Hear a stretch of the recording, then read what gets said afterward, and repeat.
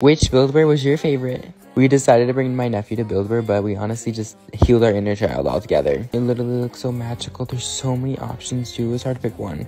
Ryan picked the red monkey. Of course, I got pink. My nephew got the cute frog though. There's an option of adding a sound effect to your animal, so Ryan got the monkey one. You can add a scent to your animal. I got the strawberry one. And you can add a beating heart stuffing time.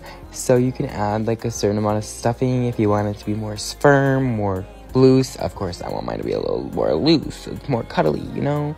So, we're doing the heart ceremony and we're giving our stuffed animals good qualities. And now it's time to pick out some clothes. Comment what one you think did the most slaying